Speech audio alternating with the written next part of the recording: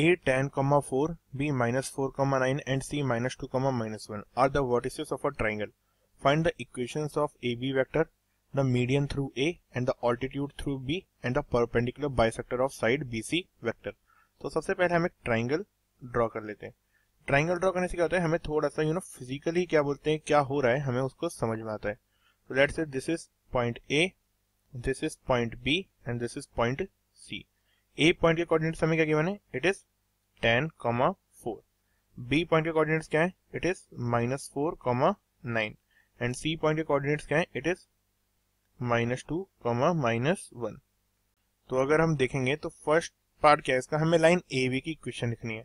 तो line A B क्या है? ए से भी पास करती है और बी से भी पास करती है। तो इसकी इक्वेशन क्या लिखूँगा मैं?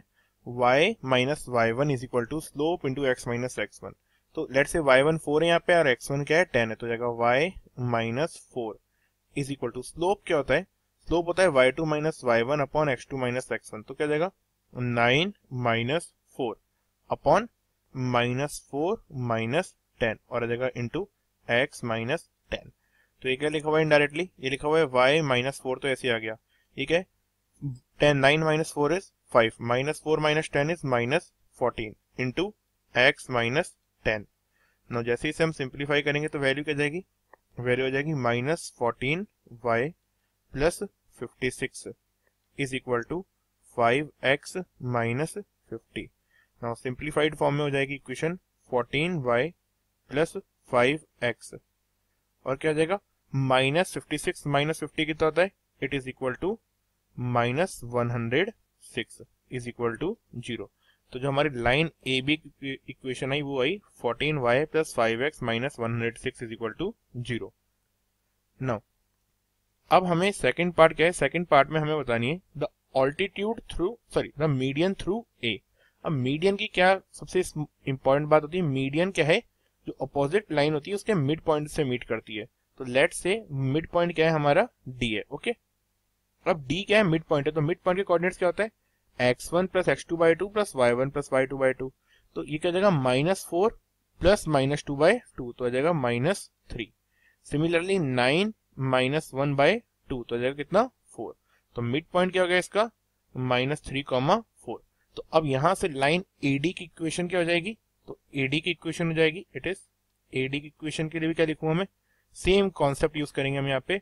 Y माइनस वाई वन यहाँ पे वाई वन की वैल्यू क्या है? फोर और एक्स वन की वैल्यू क्या है? माइनस थ्री तो y minus four is equal to slope क्या हो जाएगा? वाई टू माइनस वाई तो फोर माइनस फोर अपॉन में क्या हो जाएगा? अपॉन में आ जाएगा टेन माइनस माइनस थ्री तो जाएगा ten plus three into x minus what x minus minus three is x plus three तो क्लियरली अगर मैं देखूँगा तो फोर माइनस फोर तो ज़ीरो हो गया. तो इक्वेशन क्या जाएगी? Y minus four is equal to zero तो y की वैल्यू क्या गई? सिंप्लीफाइड फॉर्म में कैसे y is equal to four तो हमारी जो मीडियन की इक्वेशन आई, वो क्या है median is equal to y is equal to four now similarly अगर हम देखेंगे थर्ड पार्ट क्या है इसका हमारा?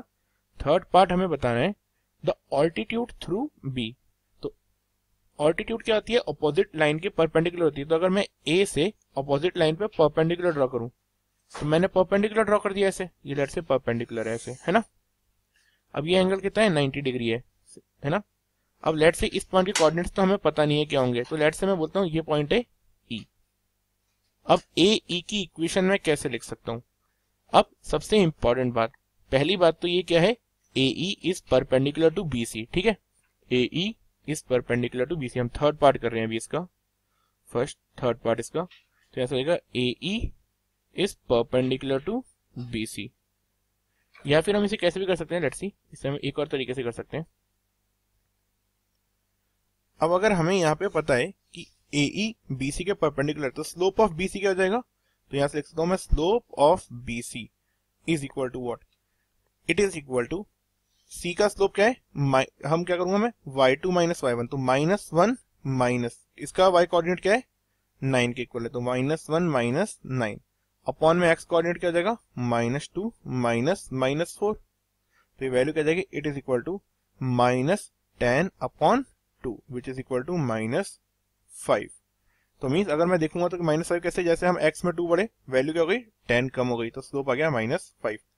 अब अगर कोई सी भी दो लाइंस परपेंडिकुलर होती है तो m one into m two की वैल्यू क्या होती है? Minus one.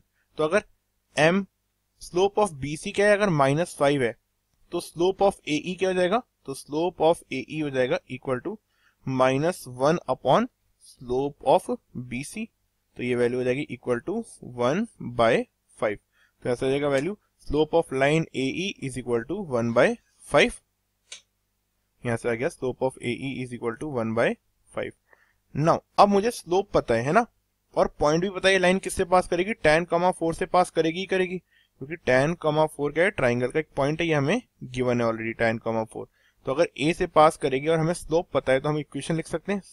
तो ऐसे अगर टेन कॉमा फोर से पास कर रही है तो इक्वेशन हो जाएगी y minus four is equal to m की वैल्यू क्या जाएगी? One by five into x की वैल्यू क्या जाएगी? एक्स माइनस टेन ठीक है?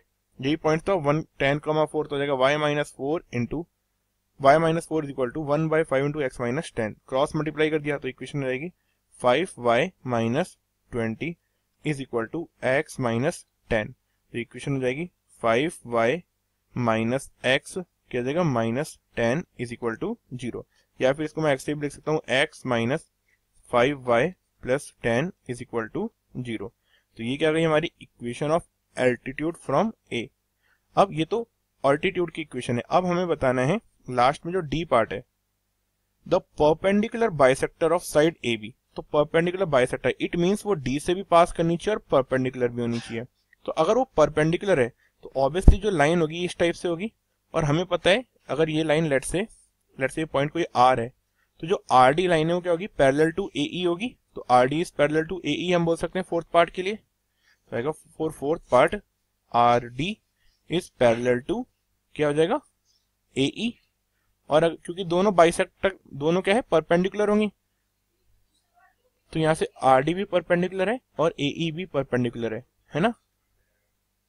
तो अब R D perpendicular to A है तो हमारा स्लोप ऑफ़ आर डी भी कितना हो जाएगा? स्लोप ऑफ़ आर डी भी हो जाएगा वन बाय फाइव तो slope of R D is equal to one by five और ये किस पॉइंट से पास करती है लाइन ये पास करेगी माइनस थ्री कमा फोर से। तो डी के कोऑर्डिनेट्स क्या है हमारे पास में? डी के कोऑर्डिनेट है माइनस थ्री कमा फोर तो इक्वेशन लिख सकते हैं हम डायरेक्टली इसकी। हमें पॉइंट भी पता है स्लोप भी पता है।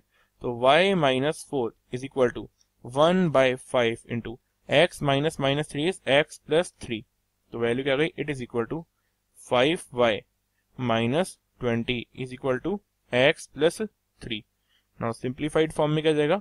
Now value is equal to x minus five times of y और आएगा माइनस ट्वेंटी प्लस थ्री की वैल्यू कितनी जाएगी it is equal to plus twenty three and it is equal to zero तो हमारी वैल्यू क्या गई?